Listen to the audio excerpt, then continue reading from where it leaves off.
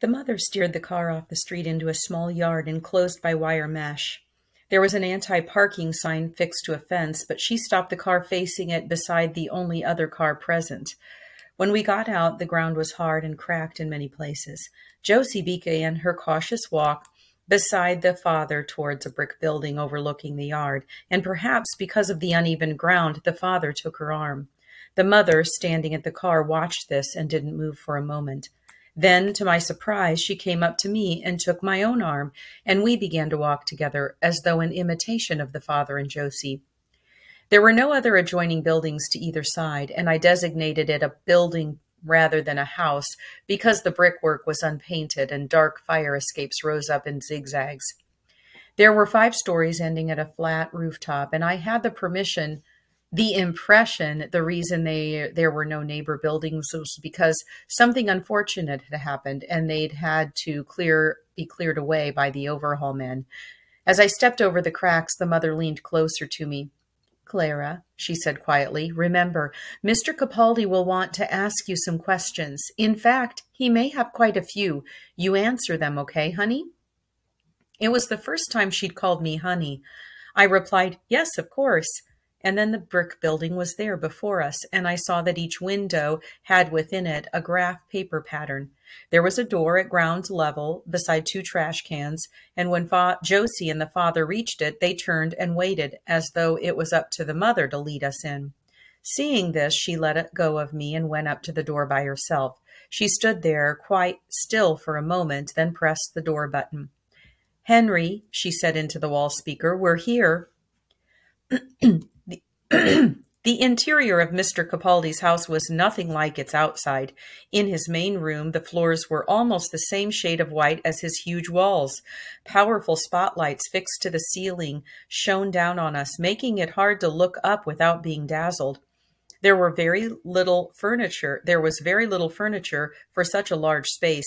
One large black sofa, and in front of it a low table on which Mr. Capaldi had laid out two cameras and their lenses. The low table, like the glass display trolley in our store, had wheels to allow it to move smoothly across the floor. Henry, we don't want Josie getting tired, the mother was saying. Maybe we can get started? Of course, Mr. Capaldi waved towards the far corner where the two charts were fixed side by side to the wall. I could see on each chart many ruled lines crisscrossing at various angles. A light metal chair had been left in front of the charts and also a tripod stand lamp. Just now, the tripod stand lamp wasn't switched on, and the far corner looked dark and lonely. Josie and the mother gazed toward it apprehensively. Then Mr. Capaldi, perhaps noticing, touched something on the low table, and the tripod stand lamp came to life, briefly illuminating the entire corner, but creating new shadows. This will be totally relaxed, Mr. Capaldi said. He had a balding beard, head and a beard that almost hid his mouth. I estimated 52 years old. His face was constantly on the brink of smiling. Nothing strenuous. So if Josie's ready, maybe let's get started. Josie, if you'd care to come this way? Henry, wait, the mother said, her voice echoing in the space. I was hoping to see the portrait first, what you've done so far. Of course, Mr. Capaldi said, though you must understand it's still work in progress, and it's not always easy for a layperson to understand the way these things slowly take shape. I'd like to take a look all the same. I'll take you up. In fact, Chrissy, you know, you don't need my permission. You're the boss here. It's kind of scary, Josie said, but I'd like to take a peek too. Uh-uh, honey. I promised Mr. Capaldi you wouldn't see anything yet. I tend to agree, Mr. Capaldi said. If you don't mind, Josie, in my experience, if the subject sees a portrait too early, things get messy. I need you to remain totally unself-conscious. Unself-conscious about what exactly? The father asked, his voice loud and echoing. He'd kept on his raincoat coat even though Mr. Capaldi had invited twice for him to take hang it on one of the pegs inside the entrance. He had now drifted towards the charts and was studying them with a frown. What I mean, Paul, is that if the subject, in this case Josie, becomes too self-conscious, she may start posing unnaturally. That's all I was meaning. The father kept staring at the wall charts. Then he shook his head in the same way he had in the car. Henry, the mother said. May I go now to your studio, see what you've been doing? Of course. Follow me. Mr. Capaldi led the mother over to a metal staircase rising to a balcony. I watched their ascending feet through the gaps between the steps. Arriving on the balcony, Mr. Capaldi pressed a keypad beside a purple door. There was a short hum, and they both went in. The purple door closed behind them, and I went to the black sofa where Josie was sitting. I wanted to make a humorous remark to relax her, but the father spoke first from the illuminated corner. I guess the idea, animal, is that you get photographed over and over in front of these charts. He stepped in closer. See this? Measurements marked along every line. You know, Dad, Josie said, Mom told us you were cool about coming today, but maybe it wasn't such a great idea. We could have met up somewhere else, done something different. Don't worry, we'll do nothing else later. We'll do something else later, something better than this. Then he turned and smiled at her gently. This portrait. Let's say it gets finished. What bothers me is that I won't get to have it with me because your mom will want it with her. You could come see me any time, Josie said. It could be like your excuse to come more often. Look, Josie, I'm sorry. The way everything's turned out, I wish I could be with you more, a lot more. That's okay, Dad. It's all working out now. Hey, Klara, what do you think of my dad here? Not such a crazy, huh? It's been a great pleasure to meet Mr. Paul. The father went on looking at the charts as though I hadn't spoken, making a pointing gesture towards a detail. When at last he turned to face me, his eyes had lost their smiling folds. Pleasure to meet you too, Klara, he said. Then he looked at Josie. Tell you what, animal, let's get done with all this as quickly as possible. Then just the two of us. We can go somewhere, get something to eat. There's a place I'm thinking you'd like. Yeah, sure, if that's okay with Mom and Klara. She turned to look over her shoulder, and just at that moment, up on the balcony, the purple door opened and Mr. Capaldi came out. He called back into the studio through the doorway. You're welcome to stay in there as long as you want. I'd better go and get uh, see to Josie. I heard the mother's voice say something.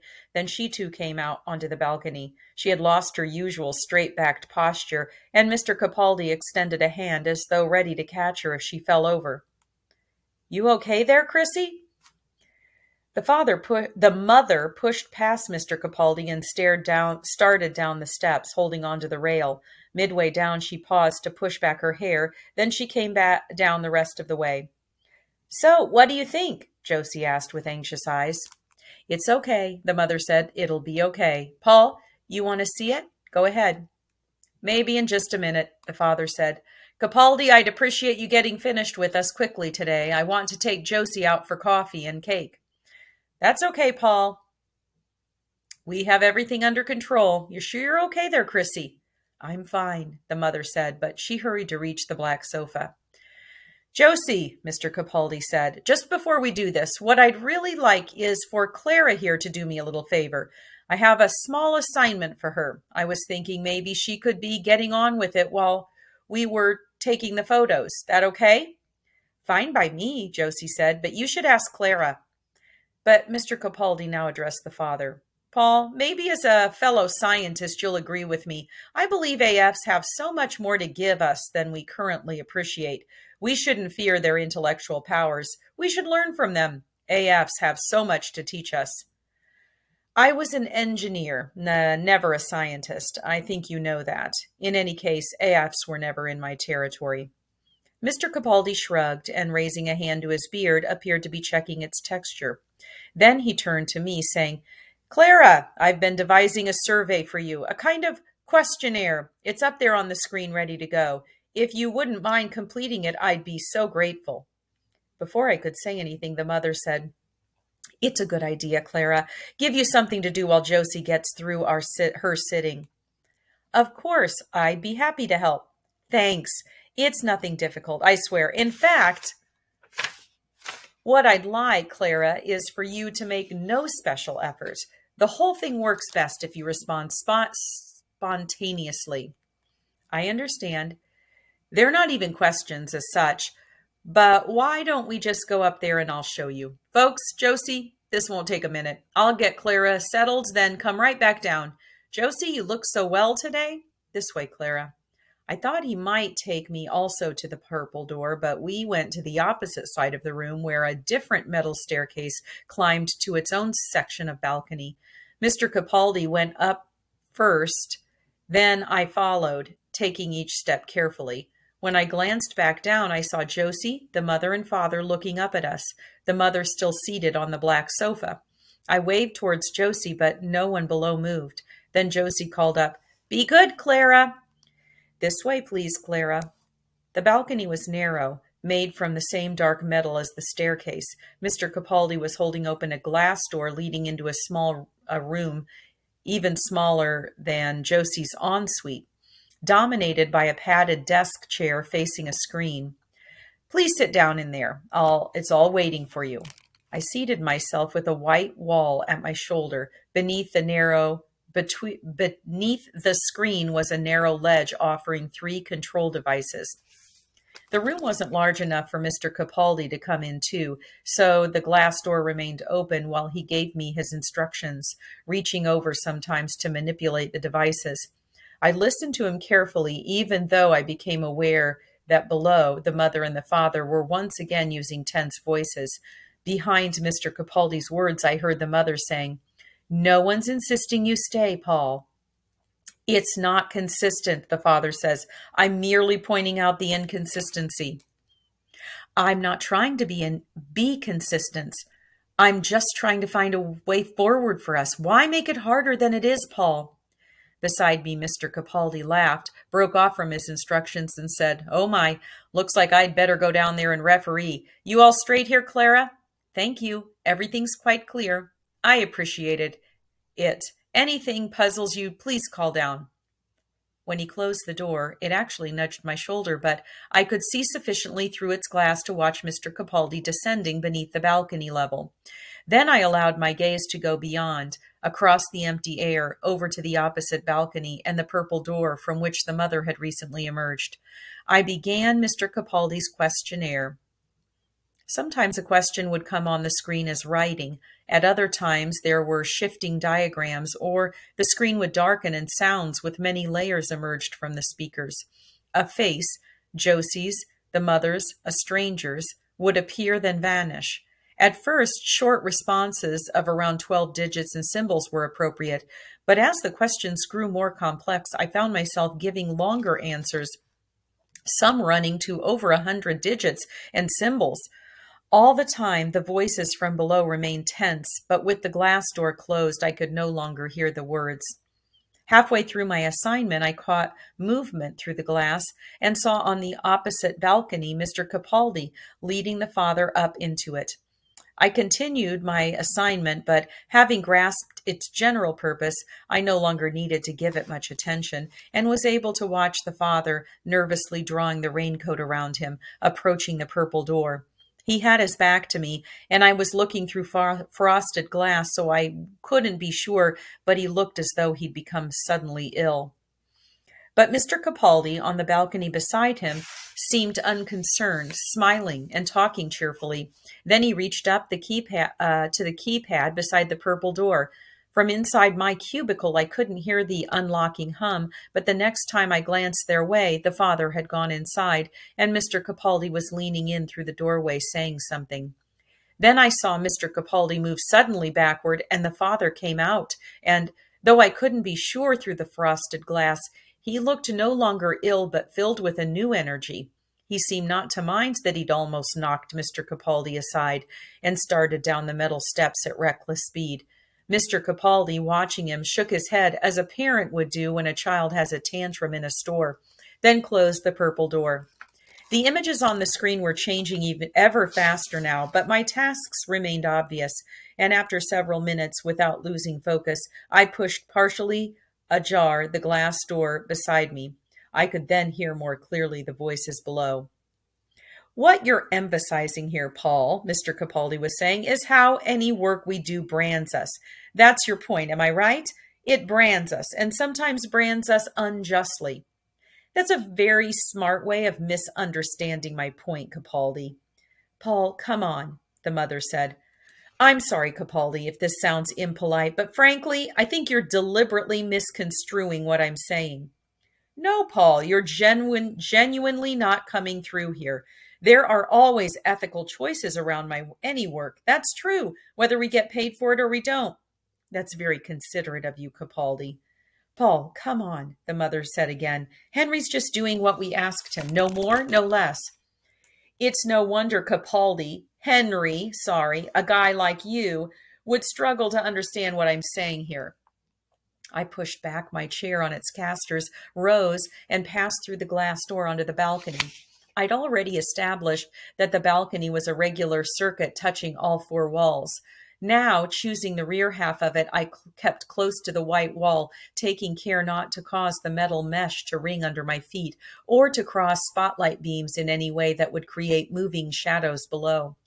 I reached the purple door unnoticed and keyed in the code I'd observed twice already. There came the usual short hum, but this too went unnoticed by those below. I was then inside Mr. Capaldi's studio and closed the door behind me.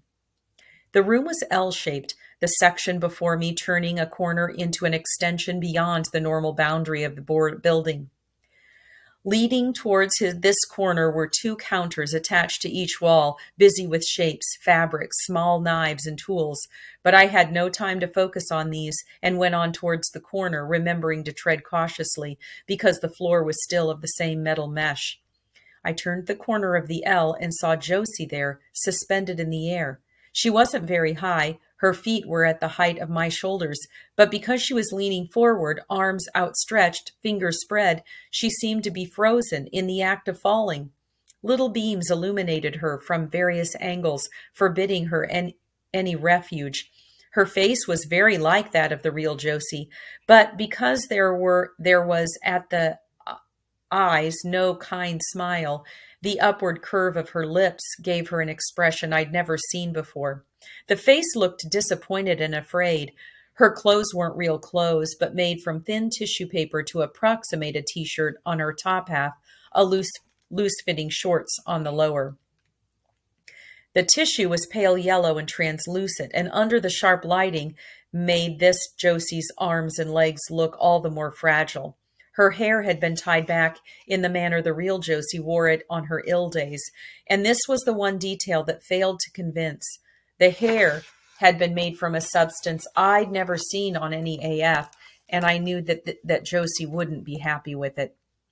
Having made my observations, my intention was to return to the cubicle before my absence from it was noted. I walked carefully back past the two work counters and opened the purple door a small way. It made the usual humming noise, but I could tell from the voices below that no one had heard it. I could tell, too, that the mood was now even more filled with tension. Paul, the mother's voice was almost shouting, you've been determined to make this difficult from the start. Come on, Josie, the father said. Let's go right now. But, Dad, Josie, we're, we leave right now. Believe me, I know what I'm doing. I don't think you do, the mother said. And Mr. Capaldi said over her, Paul, come on, take it easy. If there's been a misunderstanding, I take full responsibility and I apologize. How much more information do you need anyway? The father asked, and now he was shouting too. But that could perhaps have been because he was moving across the floor. I'm surprised you're not requesting a blood sample. Paul, be reasonable, the mother said. The father and Josie were saying something at the same time, but then Mr. Capaldi said over them, it's okay, Chrissy. Let him go. Let them go. Let them go. It doesn't change anything. Mom, why don't I go with Dad just now? Then at least you can all stop yelling. If I stay here, it's just going to get worse. I'm not angry at you, honey. I'm angry at your father. He's the child here. Come on, animal. Let's go. I'll see you later, Mom, okay? See you, Mr. Capaldi. Let them go, Chrissy. Just let them go. When the entrance door closed behind them, its sound echoed all around the building. I remembered then that the car belonged to the mother and wondered if the father had money for a taxi to take him and Josie to where he now intended them to go. It felt a little strange Josie hadn't thought to take me with her, but the mother was still there, and I remembered the day we'd gone to Morgan's Falls. I stepped out onto the balcony now making no effort to conceal myself or to soften my steps. Leaning over the steel rail, I saw the mother had sat down where earlier Josie had been sitting, on the metal chair in front of the car uh, charts. Mr. Capaldi came across the floor till he was directly below me, and I could see the top of his bald head, but not his expression.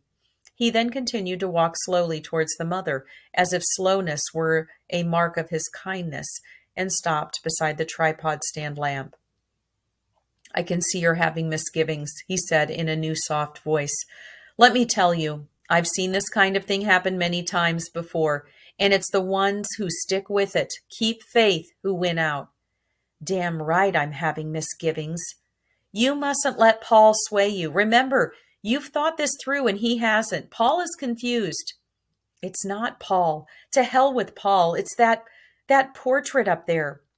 As she said this, she glanced up in my direction and saw me. She stared past the dazzle of the ceiling lights, and then Mr. Capaldi also turned and looked up at me. Then he looked at the mother questioningly. The mother continued to gaze at me, her hand now raised to her forehead. Okay, Klara, she said finally, come on down. As I descended the metal steps, I was interested to see that instead of anger, the mother showed anxiety. I crossed the floor but stopped while still several strides away. It was Mr. Capaldi who spoke first. What do you think, Klara? Am I doing a good job? She resembles Josie quite accurately. Then I guess that's a yes. By the way, Klara, how did you get on them with the survey? I completed it, Mr. Capaldi. Then I'm grateful for your cooperation. And you stored the data safely? Yes, Mr. Capaldi, my responses were stored. There was a silence while the mother continued to stare at me from her chair and Mr. Capaldi from behind his tripod light. I realized they were waiting for me to say something further, so I continued. It's a pity Josie and the father have left. Mr. Capaldi's work on the portrait may be temporarily impeded. It's okay, he said. Not a serious setback. I need to hear, the mother said. I need to hear, Klara, what you think about what you saw. I apologize for examining the portrait without permission, but in the circumstances, I felt it best to do so. Okay, the mother said, and again I saw she was fearful rather than angry. Now tell us what you thought, or rather, tell us what you think you saw up there. I'd suspected for some time that Mr. Capaldi's portrait wasn't a picture or a sculpture, but an AF. I went in to confirm my speculation. Mr. Capaldi has done an accurate job of catching Josie's outward appearance, though perhaps the hips should be a little narrower. Thank you, Mr. Capaldi said. I'll bear that in mind. It's still a work in progress. The mother suddenly lowered her face into her hands, letting her hair hang over them. Mr. Capaldi turned to her with an expression of concern, but didn't move from his spot. The mother wasn't crying, though, and she said through her hands, her voice mumbled, Maybe Paul's right. Maybe this whole thing's been a mistake. Chrissy, you mustn't lose faith. She brought her head back up and her eyes were now angry. It's not a matter of faith, Henry. Why are you so fucking sure I'll be able to accept that A up, AF up there, however well you do her? It didn't work with Sal. Why will it work with Josie? What we did with Sal is no comparison. We've been through this, Chrissy. What we made with Sal was a doll, a bereavement doll, nothing more. We've come a long way, a long way since then. What you have to understand is this the new Josie won't be an imitation. She really will be Josie, a continuation of Josie. You want me to believe that?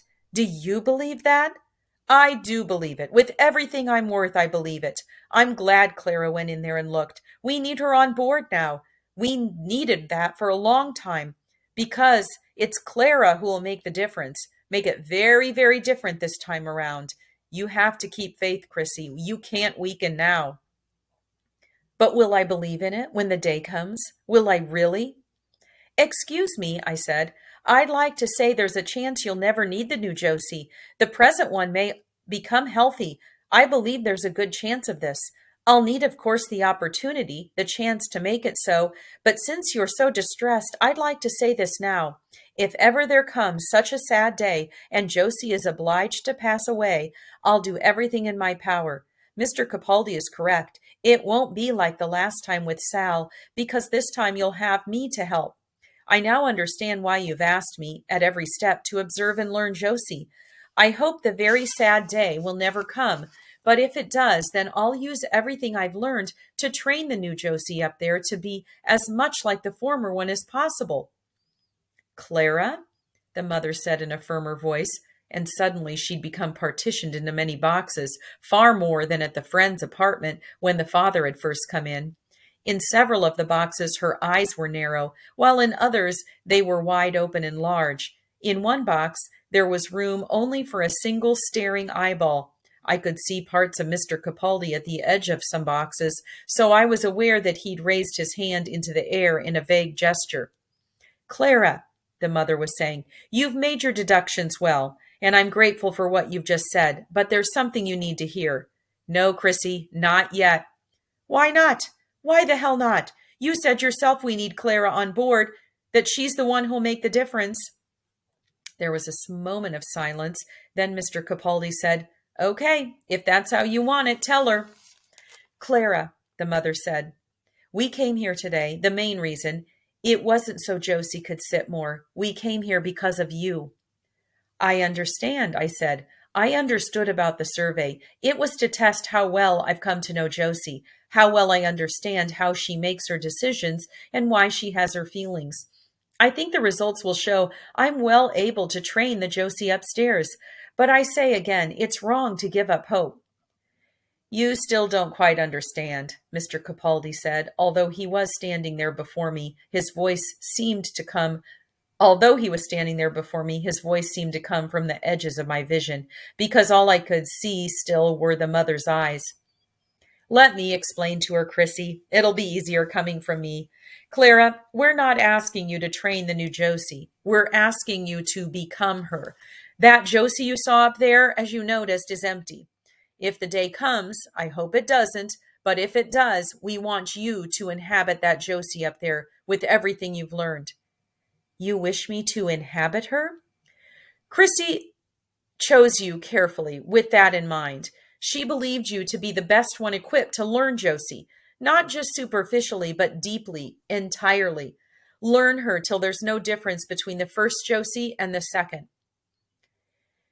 Henry's telling you this now, the mother said, and suddenly she was no longer partitioned, like it was carefully planned. But it was never like that. I didn't even know if I believed any of this would work. Maybe once I believed it could, but seeing the portrait up there, I don't know anymore. So you see what you what's being asked of you, Klara, Mr. Capaldi said. You're not being required simply to mimic Josie's outward behavior. You're being asked to continue her for Chrissy and for everyone who loves Josie. But is that going to be possible? The mother said. Could she really continue Josie for me? Yes, she can, Mr. Capaldi said. And now Klara's completed the survey up there. I'll be able to give you scientific proof of it. Proof she's already well on her way to accessing quite comprehensively all of Josie's impulses and desires. The trouble is, Chrissy, you're like me. We're both Sentimental. We can't help it. Our generation still carry the old feelings. A part of us refuses to let go. The part that wants to keep believing there's something unreachable inside of each of us. Something that's unique and won't transfer. But there's nothing like that. We know that now. You know that. For people our age, it's hard to one, it's a hard one to let go. We have to let it go, Chrissy. There's nothing there. Nothing inside Josie that's beyond the Klaras of this world to continue. The second Josie won't be a copy, she'll be the exact same, and you'll have every right to love her just as you love Josie now. It's not faith you need, only rationality. I had to do it. It was tough, but now it works for me just fine, and it'll work for you. The mother stood up and began walking across the room. You might be right, Henry, but I'm too tired to think any more, and I need to talk to Klara, talk with her alone. I'm sorry things got messy here. She went to where she'd left her bag hanging from one of the entrance hooks. I'm really glad Klara knows, Mr. Capaldi said. In fact, I'm relieved. He was following behind the mother as if reluctant to be left alone. Klara, the date may possibly highlight where you, the data may possibly highlight where you still need to put in a little more effort, but I'm glad we can speak openly. Come on, Klara, let's go. So, Chrissy, we're still okay about all this. We're fine, but I need a break from it now. She touched Mr. Capaldi's shoulder. Then we left through the main entrance, where he'd hurried to which he'd hurried to open for us. He followed us to the elevator and gave a cheerful wave before the doors closed. On the descent, the mother took her oblong from her bag and stared at it. She put it away again as the door elevator doors opened, and we walked out across the cracked concrete from uh, where the sun was making its evening patterns through the wire fences.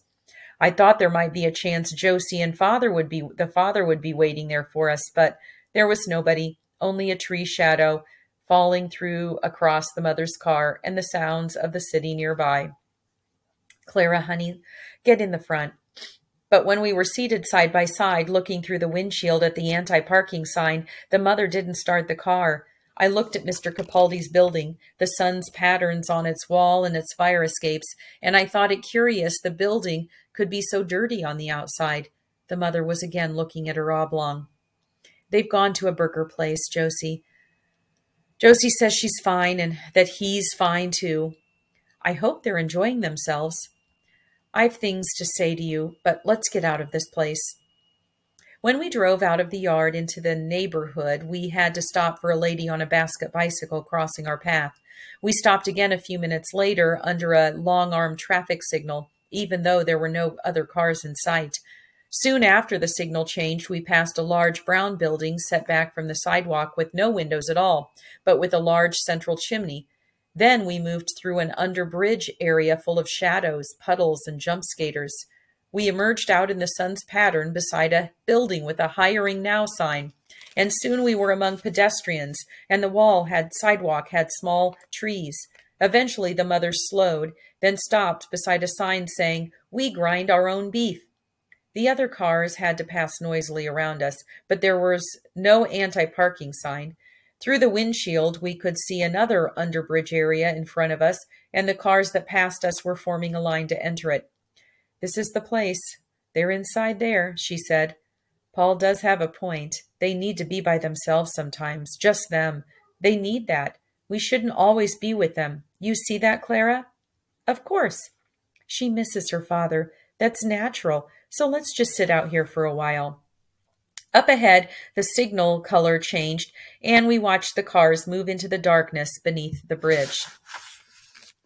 This must all be a shock for you, she said. You must have questions. I think I understand. Oh, you understand? You understand what I'm asking of you? And it is me asking, not Capaldi and not Paul. In the end, it's me. That's who it comes down to. I'm asking you to make this work because if it happens, if it comes again, there's going to be no other way for me to survive. I came through it with Sal, but I can't do it again. So I'm asking you, Klara, do your best for me. They told me in the store you were remarkable. I've watched you enough to know that's maybe true. If you set your mind to it, then who knows, it might work and I'll be able to love you. We didn't look at each other, but kept gazing out through the windshield. Beside me, on my side, an apron man had emerged from the grind our own beef building and was sweeping, sweeping the sidewalk. I don't blame Paul. He's entitled to his feelings. After Sal, he said we shouldn't risk it. So what if jo Josie didn't get lifted? Plenty of kids aren't, but I could never have that for Josie. I could never, I could never have that for Josie. I wanted the best for her. I wanted her to have a good life. You understand, Klara? I called it, and now Josie's sick because of what I decided. You see how it feels for me? Yes, I'm sorry. Feeling sorry's not what I'm asking of you. I'm asking you to do what's within your power, and I think what it'll mean for you, and think what it'll mean for you. You'll be loved like nothing else in the world. Maybe one day I'll take up with another man. Who knows? But I promise you I'll never love him the way I'll love you. You'll be Josie, and I'll always love you over everything else. So do it for me. I'm asking you to do it for me. Continue Josie for me. Come on, say something. I did wonder, if I were to continue Josie, if I were to inhabit the new Josie, then what would happen to all this? I raised my arms in the air, and for the first time the mother looked at me. She glanced at my face, then down at my legs. Then she looked away and said, What does it matter? That's just fabric. Look, there's something else you might consider. Maybe it doesn't mean so much to you, me loving you, but here's something else. That boy, Rick, I can see he's something to you. Don't speak, let me speak. What I'm saying is that Rick worships Josie, always has done. If you continue Josie, we'll just will have not just me, you'll have not just me, but him.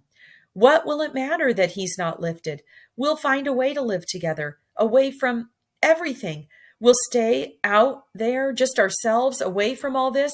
You, me, Rick, his mother, if she wants. It could work. But you have to pull it off. You have to learn Josie in her entirety. You hear me, honey? Until now, I said, until just now, I believed it was my duty to save Josie, to make her well, but perhaps this is a better way. The mother turned in her seat slowly, reached out her arms, and started to hug me. There was car equipment separating us, which made it hard for her to embrace me fully, but her eyes were closed in just the way they were when she and Josie rocked gently during a long embrace, and I felt her kindness sweeping through me. The drivers wishing to enter the underbridge area were annoyed at having to pass around the mother's car. Many gave me unfriendly stares as they went past, even though they could see I was a passenger and not responsible. My concern, however, wasn't the passing cars or their unfriendly drivers, but what was going on at that moment inside the grind our own beef. Had my mind not been momentarily filled by the mother's words and her embrace, I might have been able to dissuade her from going inside. But no sooner had the embrace finished, and despite her remarks about Josie and the father needing time to themselves, she'd suddenly vanished from my side, slamming the car door behind her. As the minutes went by, I recalled the tense moments in Mr. Capaldi's building and wondered if, despite the discourtesy, my own arrival inside the grind our own beef might be required in order to divert proceedings from scenes of similar upset for Josie. But before I could decide, the father appeared on the sidewalk on the other side of my window. He pointed the key device at the car and, when nothing happened, examined it more closely, then pressed again. This time there were release noises around me, and the mother must have locked me in, or the mother must have locked me in.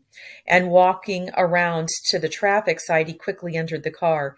He settled himself in the driving seat, but hardly glanced my way, staring instead towards the under bridge area. Then he placed a hand on the steering wheel and began drumming his fingers on it.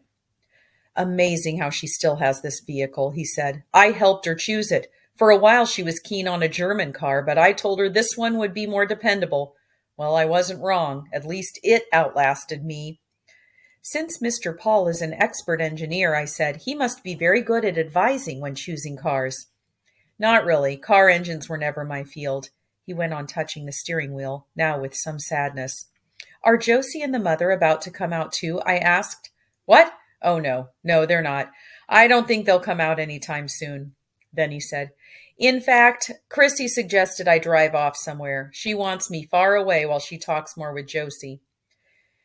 He sounded less angry than in Mr. Capaldi's building. Indeed, he was almost dreamy. To be honest, I wasn't happy when Chrissy came in. You'd think I wouldn't be pleased, her interrupting like that. But the truth is, Josie and I weren't exactly having a light-hearted conversation.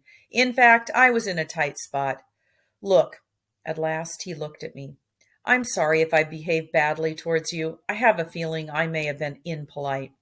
Please don't worry. I now understand very well why Mr. Paul may have been reluctant to greet me warmly. I've never been good at, well, relating to your kind. You have to excuse me. No, I don't mind Chrissy breaking in on us because Josie was in the middle of asking some tough questions, and I'd no idea, no idea at all how to answer her. No fool that Josie. He looked out again to the underbridge area and went on drumming his fingers on the steering wheel. After that visit, I wanted us to have a relaxing time, a coffee, something to eat. But then she asks me, since Capaldi is trying to help us, as I've been claiming, why do I hate him so much? How did Mr. Paul reply? I've always been useless at lying to her, so I guess I was, you know, prevaricating. And I knew she could see right through me. That was when Chrissy came in. Does Josie suspect about about this plan? The one in case she has to pass away? I don't know. Maybe she suspects it, but doesn't dare look at it. But she's no fool. All these tough questions. Why was I so against someone doing her portrait? Well, let Chrissy have a go at answering. Suddenly, he placed the key device into the ignition slot. We've been instructed to get lost for a while, until, to be precise, he looked at his watch, 545. Then we're to rendezvous at this sushi place, all of us apparently. Josie, Chrissy, the neighbors too. So unless you want to sit in a parked car for an hour, I suggest we drive around. He started the engine, but the traffic light had become so extended we couldn't move yet. I put on the safety belt and waited. Then the lights came changed up and the car lurched forward. Shadow and light patterns moved all around us. Then we came out from the underbridge area into an avenue of tall brown wind buildings. We drove past a large creature with numerous limbs and eyes. Then, even as I watched, a crack appeared down its center. As it divided itself, I realized it had been all along two separate people, a runner and a dog walk woman, moving in opposite directions, who for an instant happened to be passing one another. Then came a store with a sign saying, Eat in, take out, and in front of it, a lost baseball cap on the sidewalk. Was there anything special, any place special you wanted to go? The father asked. Josie mentioned something about your old store. She said we'd passed it earlier today. As soon as I heard him say this, I recognized the opportunity it presented and exclaimed, perhaps too loudly, Oh, yes! Then, controlling myself, I said more quietly, if you don't mind, I'd very much like that. She was saying it may not be there any more, that it might have moved on.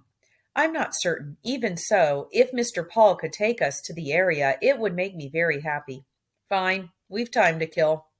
At the next intersection, he turned to the right, saying as he did so, I wonder how Chrissy's getting on, what they're talking about right now. Maybe she managed to change the topic. There was now more traffic, and we moved slowly behind other vehicles. The sun was sometimes visible, but he was already getting out quite low, and the tall buildings often blocked his view. The sidewalks were busy with office workers at the end of their work, and we passed a man on a ladder doing something to a shiny red notice that said rotisserie chicken. The pedestrian crossings and tow-away zone signs went by, and I could sense we were coming nearer to the store. Can I ask you something? The father said. Yes, of course. I think Josie still lar- is still largely in the dark, but I don't know about you. How much you'd guessed before, how much you found out today. Perhaps you wouldn't mind telling me what you do know? Before I visited Mr. Capaldi today, I said, I'd suspected some things, but had been ignorant of many others. But now, after the visit, I can understand Mr. Paul's unease, and I can understand his initial coldness towards me. I apologize for that. So they explained it all to you, how you fit into the picture? Yes, I believe they told me everything. And what do you think? Do you suppose you can pull it off, perform this role? It won't be easy, but I believe if I continue to observe Josie carefully, it will be within my abilities. Then let me ask you something else. Let me ask you this. Do you believe in the human heart? I don't mean simply the organ, obviously. I'm speaking in the poetic sense, the human heart. Do you think there is such a thing? Something that makes each of us a special individual? And if we just suppose that there is, then don't you think in order to truly learn Josie, you'd have to learn not just her mannerisms, but what's deeply inside her? Wouldn't you have to learn her heart? Yes, certainly. And that would be difficult, no? Something beyond even your wonderful capabilities? Because an impersonation wouldn't do, however skillful. You'd have to learn her heart and learn it fully, or you'll never become Josie in any sense that matters. A public bus had stopped beside some abandoned fruit boxes. As the father steered around it, the car behind us made angry horn noises. Then there were more angry horns, but these were further away and not aimed at us. The heart you speak of, I said, it might indeed be the hardest part of Josie to learn. It might be like a house with many rooms. Even so, a devoted AF, given time, could walk through each of these rooms, studying them carefully in turn until they became like her own home. The father sounded our horn at a car trying to enter the traffic line from a street. But then suppose you stepped into one of the rooms, he said, and discovered another little room within it, and inside that room another room still. Rooms within rooms within rooms. Isn't that how it might be, trying to learn Josie's heart? No matter how long you wandered through these rooms, wouldn't there always be others you'd not entered?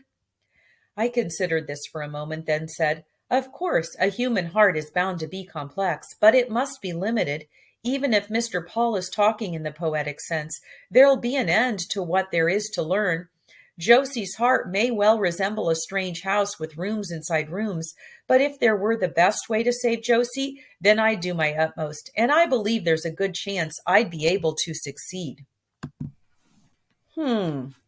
For the next few minutes, we drove without talking.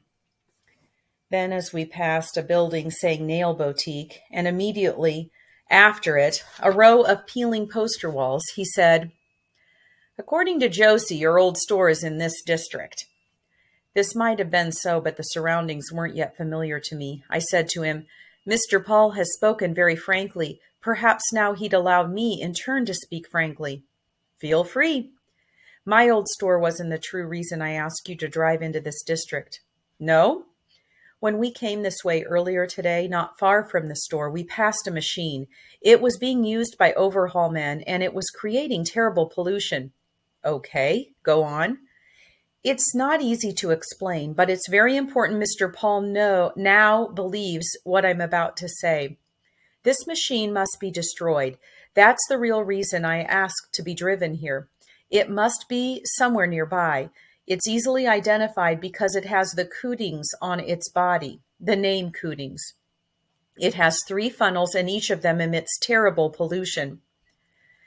And you want to find this machine now? Yes, and to destroy it. Because it causes pollution. It's a terrible machine.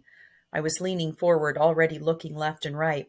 And how exactly do you, do you intend to destroy it?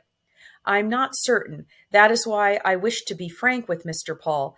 I'm requesting his help. Mr. Paul is an expert engineer as well as an adult. You're asking me how to vandalize a machine?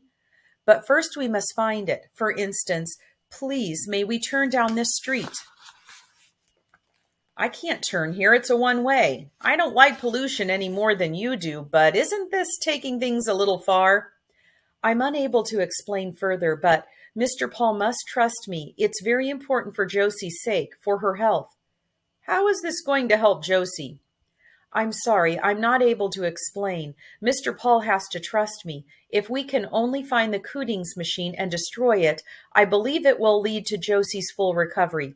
Then it won't matter about Mr. Capaldi or about his portrait or how well I'll be able to learn Josie. The father considered this. All right, he said eventually. Let's at least give this a try. You last saw this thing where, did you say? We continued to move, and I spotted the RPO building, the fire escapes building behind, beside it, rapidly approaching us. Sun, the sun was falling behind them in the familiar way, and then we were passing the store itself. I saw again the colored bottles display and the recessed lighting notice, but I was so concerned I'd missed the Cootings machine, I hardly gave them attention. As we went over the pedestrian crossing, the father said, I'm wondering if this street's taxis only. Look at them everywhere. This turning, perhaps. Please, if possible. The Cootings machine hadn't been where I'd seen it earlier, and as the streets grew unfamiliar again, I gazed in every direction.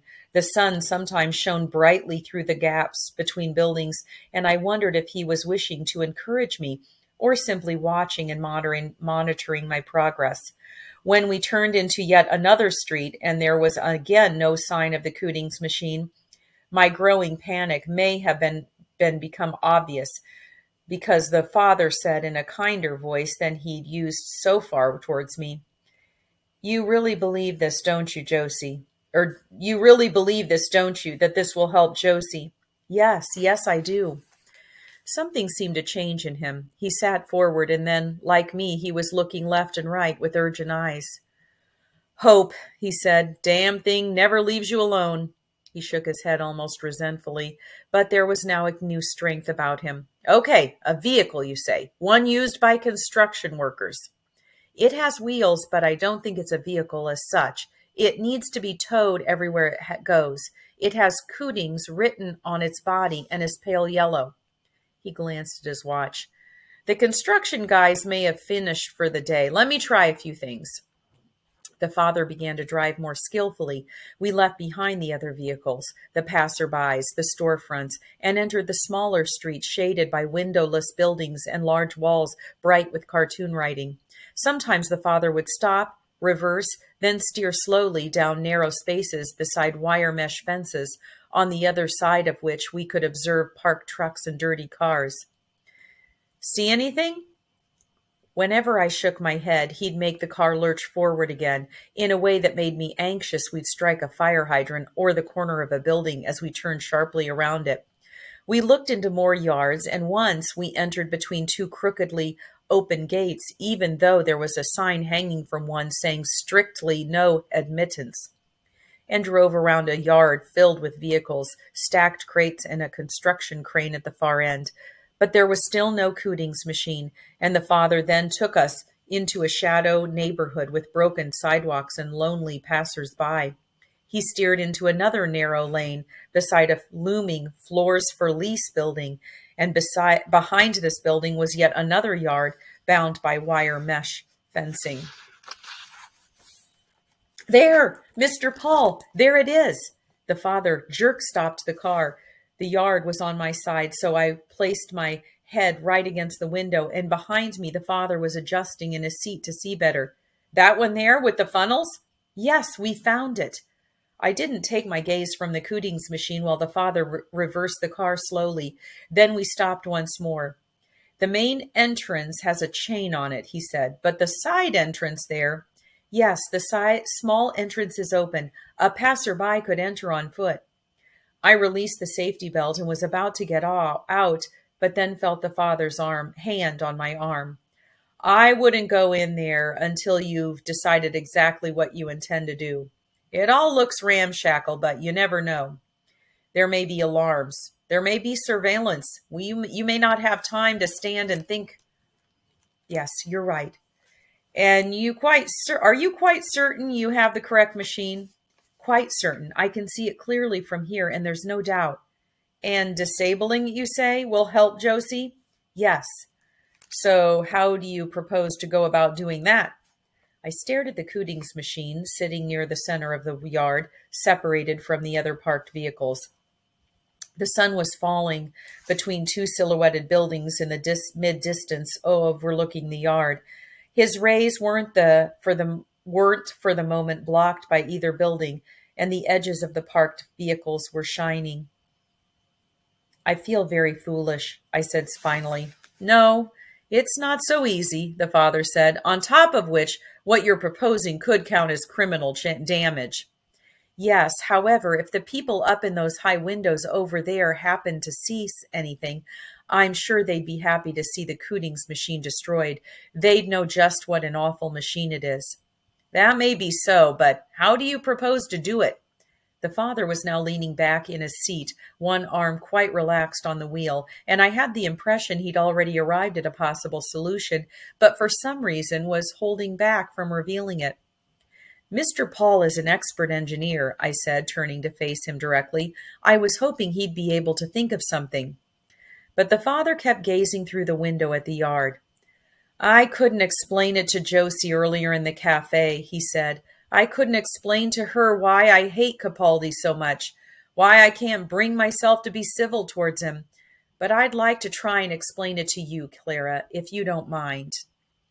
His switch of subject was highly unwelcome, but anxious not to lose his goodwill, I said nothing and waited. I think I hate Capaldi because deep down I suspect he may be right, that what he claims is true, that science has now proved beyond doubt there's something so unique about there's nothing so un unique about my daughter. Nothing there. Our modern tools can't excavate copy and transfer. That people have been living with one another all this time centuries loving and hating each other and all on a mistaken premise a kind of superstition we kept going while we didn't know any better. That's how capaldi sees it. And there's a part of me that fears he's right. Chrissy, on the other hand, isn't like me. She may not know it yet, but she'll never let herself be persuaded. If the moment ever comes, never mind how well you play your part, Klara. Never mind how much she wishes it to work. Chrissy just won't be able to accept it. She's too old fashioned. Even if she knows she's going against the science and the math, she still won't be able to do it. She just won't stretch that far. But I'm different. I have a kind of coldness inside me she lacks. Perhaps it's because I'm an expert engineer, as you put it. This is why I find it so hard to be civil around people like Capaldi. When they do what they do, say what they say, it feels like they're taking from me what I hold most precious in this life. Am I making sense? Yes, I understand Mr. Paul's feelings. I let a few seconds go by, then continued. It seems then, from everything Mr. Paul says, that it's even more important that what Mr. Capaldi proposes is never put to the test. If we can make Josie healthy, then the portrait, my learning her, none of it will matter. So I ask you again, please advise me how I might destroy the Cootings machine. I have a feeling Mr. Paul has an idea how we might do it. Yes, a possibility has occurred to me, but I was hoping a better idea might come along. Unfortunately, it's looking like that isn't going to happen.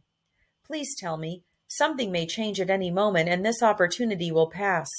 Okay, well, here it is. That machine will contain inside it a Sylvester Broad generation unit, middle market, fuel efficient and robust enough, but with no real protection. It means that machine that machine can stand any amount of dust, smoke, rain, but if anything, let's say with a high acrylamide content gets inside its system, for example, a PEG9 solution, it wouldn't be able to handle it. It would be like putting gasoline into a diesel engine, except a lot worse. If you introduced PEG9 in there, it would rapidly polymerize. The damage is likely to be terminal. PEG9 solution. Yes. Does Mr. Paul know how we might now obtain PEG9 solution at short notice? As it happens, I do. He went on looking at me for a second, then said, You'll be carrying a certain quantity of PEG9 there inside your head. I see. I believe there's usually a small cavity just there at the back of the head where it meets the neck. This isn't my area of expertise. Capaldi would know much more. But my guess is that you could afford to lose a small amount of PEG9 without it significantly affecting your well-being. If if we were able to extract the solution from me, would there be sufficient to would that be sufficient to destroy the Cootings machine? This really isn't my area, but my guess is that you might be carrying approximately 500 milliliters. Even half of that should be sufficient to incapacitate a middle market machine such as that one. Having said that, I have to empathize, emphasize. I'm not advocating we'd go down that road. Anything that jeopardizes your abilities could jeopardize Capaldi's plan, and Chrissy wouldn't want that. My mind was filled with great fear, but I said, but Mr. Paul believes if we could extract the solution, we could destroy the Cootings machine? Yes, that's what I believe. Is it possible Mr. Paul has suggested this course not only to destroy the Cootings machine, but also to damage Klara and thus Mr. Capaldi's plan? That very thought did cross my mind too, but if I really wanted to damage you, Klara, I think there are far simpler ways. Truth is, you've started me hoping again, hoping that you might, that you say what you say might be for real. How would we extract the solution? Just a small incision below the ear. Either ear would do. We'd require a tool, something with a sharp edge or point. We need only to pierce the outer layer. Beyond that, well, there should be a small valve I can loosen and tighten back up with my fingers. He'd been searching through the mother's car's glove compartment while saying this, and he now produced a plastic bottle of water. Okay, this will do as a cat to catch the solution, and here, it's not ideal, but here's a tiny screwdriver. If I sharpened the edge a little more, he trailed off, holding the tool up to the light. After that, it's just a case of walking over there and carefully pouring the solution down one of the nozzles. We should use the central one. It's likely to connect directly to the Sylvester unit. Will I lose my abilities? As I said, your overall performance shouldn't be greatly impaired, but this isn't my area. There may be some effects on your cognitive abilities, but since your essential energy source is solar, you shouldn't be affected to any significant degree. He lowered the window on his side and, holding out the plastic bottle, emptied the water out onto the ground outside. This is your call, Klara. If you want, we can just drive away from here. We have another, let me see, 20 minutes before our rendezvous with the rest of the party. I stared at the yard again through the wire mesh fencing, trying to control my fear. My view of it from the car had remained unpartitioned, and the sun was still watching from between the two silhouette buildings. You know, Klara, I don't even know what this is about, but I want what's best for Josie, exactly the same as you, so I'm willing to grasp at any chance that comes our way. I turned to him with a smile and nodded. Yes, I said. Then let's try.